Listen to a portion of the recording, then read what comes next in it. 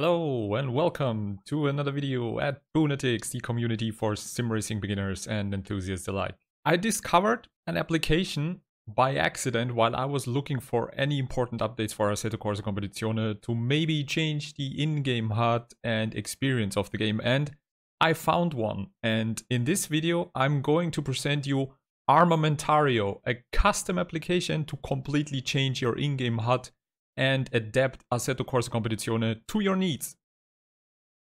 Let's just take a look at the in-game HUD and everything you can see once you jump in there. And actually now, before starting up Armamentario, we are just heading into the options, deactivating everything and check again how it looks.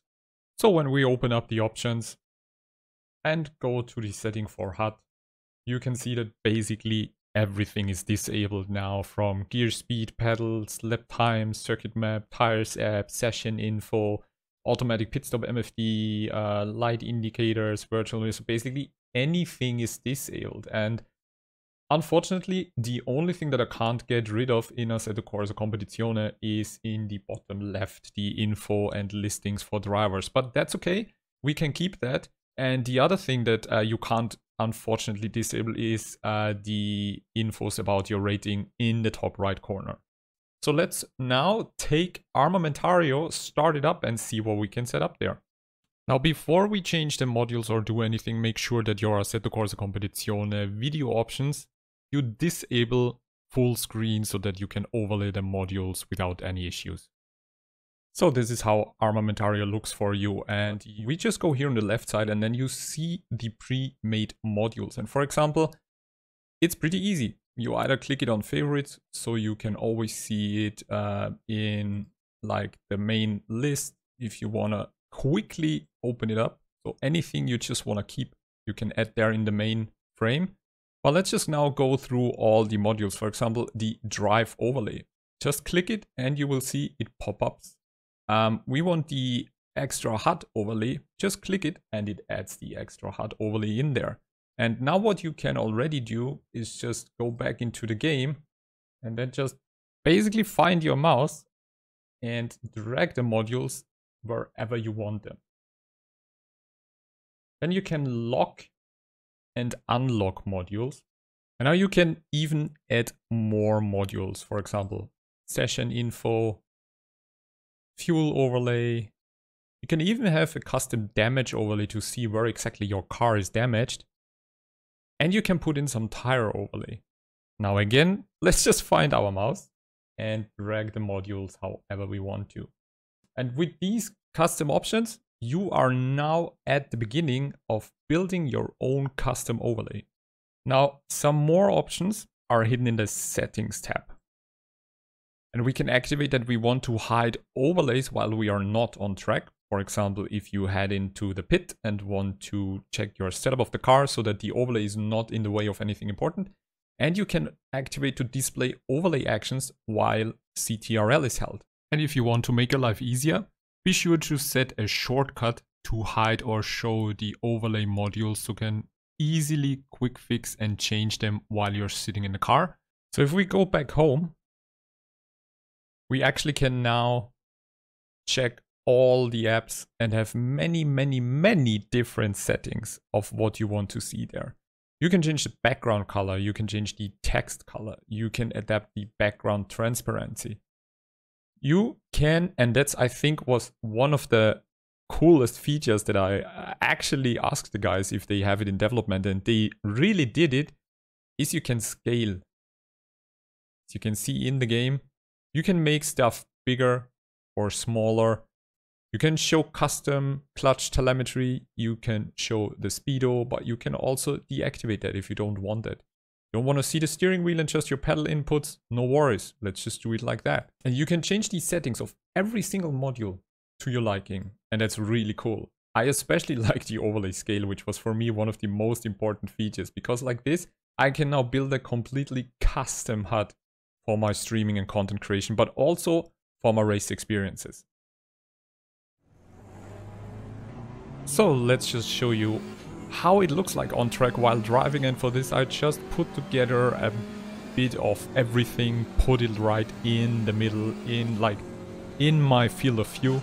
I changed the sizes a little bit and adapted it a tiny bit just so you can see how it looks in action. And what immediately pops out to me is the beautiful drive HUD where you can see the RPMs and uh, the indicator when to shift your set mapping and uh, fuel load, your ABS traction control and brake bias. So this is like immediately in your immediate field of view and I really enjoyed it. And you can see the pedal inputs, brake pedal, throttle, the steering wheel and actually the duplicated uh, speedometer. So we could get rid of that now that we see it.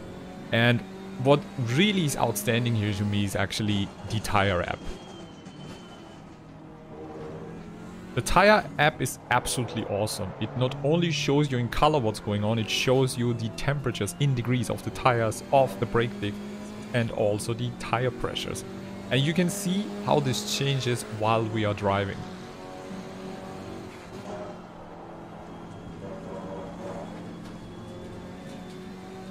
Now this is absolutely incredible because it gives you the edge when doing a setup for your car because you can see over the full lap how the temperature of the tire is changing and what you should do to adapt the tire temperatures and improve tire life.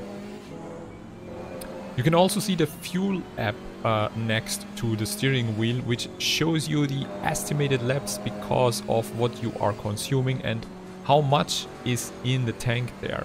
And that can give you the edge, for example, when racing in endurance with your partner, because it's really easy to see how much you need to add because of the consumption and uh, the estimated laps left.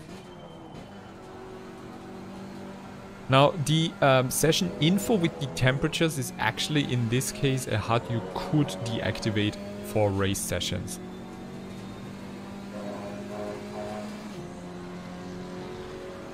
Can you see how the tire temperatures and brake disc temperatures are changing? This is absolutely awesome. I love it.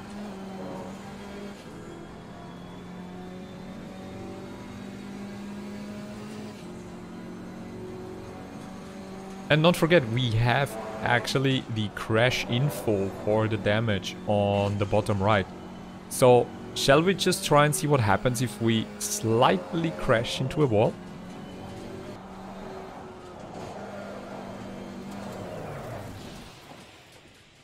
This is absolutely crazy. You can see the values changing there and how much damage you have and how much time that might cost you.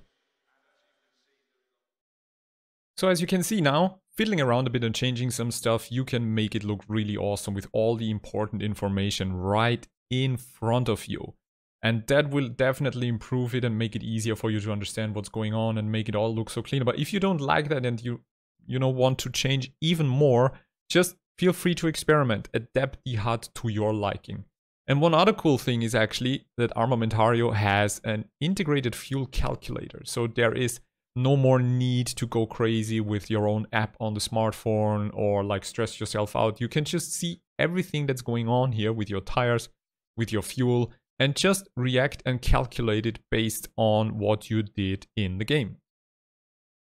Isn't this incredible? I absolutely love it and I'm for sure using Armamentario on one of my next streams so that you can see it in action. Of course, it takes a bit of time to get used to it once uh, you have been playing Assetto Corsa Competizione for months or over a year like I did with the in-game HUD.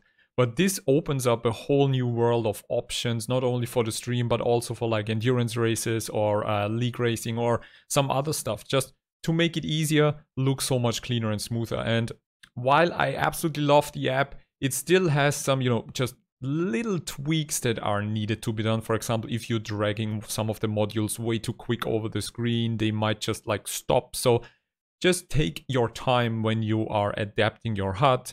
Don't stress yourself. Experiment with the options, check it out, and uh, yeah, let me know in the comments how you like it. And please visit the developers, give them feedback, maybe give them ideas of features you would like to see. They are absolutely smashing it, very motivated. And if you would like to show some support to them, just feel free to do so to support their uh, ongoing efforts in making Armamentario even more awesome.